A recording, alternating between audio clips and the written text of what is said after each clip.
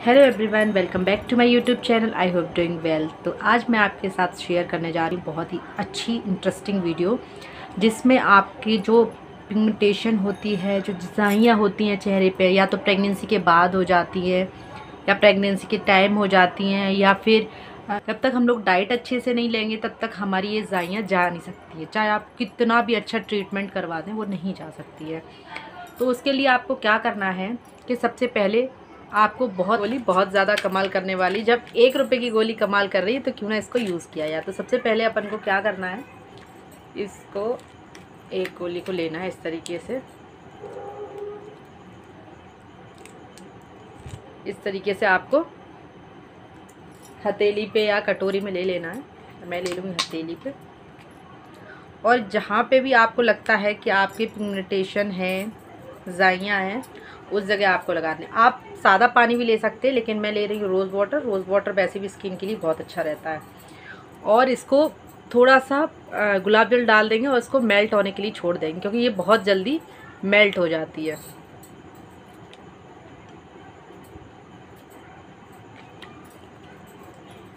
इस तरीके से लेना है और आपको इसको अच्छे से मेल्ट करना अब देखिए, ये क्रीमी टेक्सचर हो गया है इसका। इस तरीके से और इसको जहाँ जहाँ आपको पिगमेंटेशन है, उस जगह आपको इस तरीके से लगा लेनी है। ज़्यादातर यहाँ पे भी होती है, किसी के नोज़ पे होती है और ये ब्लैक हेड्स वाइट हेड्स में भी फ़ायदा करता है। तो आप जहाँ पे भी आपको लगता है ब्लैक हेड्स है या वाइट हेड्स है, उस जगह भी आप इसको इस तरीके से यूज़ कर सकते हो। इस तरीके से अपनी पूरी नोज़ पे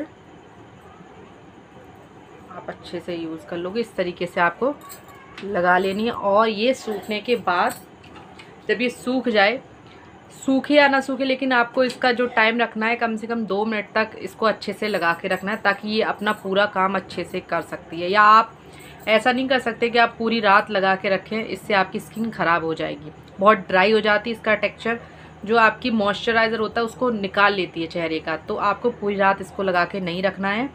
इससे आपकी स्किन ख़राब हो जाएगी, ड्राइनेस आ जाएगी। जब ड्राइनेस आ जाती है, बहुत सारी बीमारियाँ भी जाती हैं फेस के लिए। तो आपको सिर्फ़ इसको दो मिनट लगा के रखना है। तो मिलते हैं दो मिनट के बाद। अब दो मिनट हो चुकी हैं और मेरा देखिए पैक काफ़ी हद तक सूख गया है। सूख गया है मम्मा सूखने के बाद अब आपको क्या करना है कि एक कोई भी, आप सादा पानी से भी धुल सकते हैं। और इसको मैं हैंकी से कर लूँगी साफ़।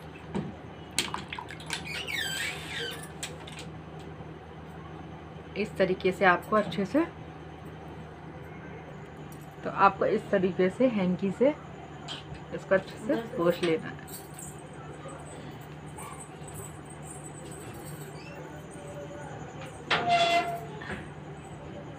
इस तरीके से आपको पोष के, अगर आप चाहें तो इसको अच्छे से धुल भी सकती है, क्योंकि मैं आपको धुल के नहीं दिखा सकती हूँ। मैं आपको सिर्फ़ पोछ के दिखा दूँगी। इस तरीके से आपको पोछ लेना है। ये ब्लैक हेड वाइट हेड को भी हटाता है स्पॉट को भी हटाता है और उसके बाद आपको क्या करना है, अपनी स्किन को ऐसे ही नहीं छोड़ना है। आपको क्या करना है, कोई भी मॉइस्चराइज़र ले लेना है, या फिर आप चाहें तो कोई भी मॉइस्चराइज़र क्रीम ले सकते हैं, लेकिन मैं यूज़ करूँगी एलोवेरा और गुलाब जल। आप गुलाब जल एलोवेरा मिक्स करके भी यूज़ कर सकते हैं। ये भी बहुत अच्छा मॉइस्चराइज़र होता है। या फिर आप इसको गुलाब जल में या एलोवेरा जेल में विटामिन ई का कैप्सूल भी यूज़ कर सकते हैं। ये मैंने एलोवेरा ले लिया है और ये ले लिया है मैंने रोज़ वाटर। एक दो ड्रॉप डालेंगे रोज़ वाटर की। और इसको इस तरीके से यूज़ करने के बाद अच्छे से जहाँ जहाँ पे भी आपने डिस्प्ले लगाइए, वहाँ इस तरीके से मसाज कर लेंगे।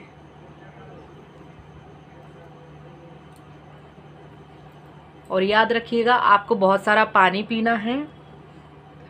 और दिन में एक बार जो भी विटामिन, सी का झाइयाँ हट जाएँगी, पिगमेंटेशन आपकी कहीं भी नहीं रहेगी। अगर आपके पिंपल्स के एक दो दाग भी हैं, वो भी निकल जाएँगे। पर अभी टाइम लगेगा, आप चाहे तो एक दिन में हो सकता है, वो नहीं हो सकता। टाइम लगता है रेगुलर आपको यूज़ करना है। इस तरीके से आपको कर लेना। है तो कैसी लगी आपको मेरी वीडियो? प्लीज़ मेरे चैनल को कर लीजिए सब्सक्राइब पहली बार आए हैं तो प्लीज़ सब्सक्राइब कर लीजिए। अगर आप कर चुके हैं तो थैंक यू सो मच मेरे चैनल को लाइक शेयर ज़्यादा से ज़्यादा ताकि ये वीडियो हर किसी के लिए हेल्पफुल है थैंक यू और thanks for watching bye bye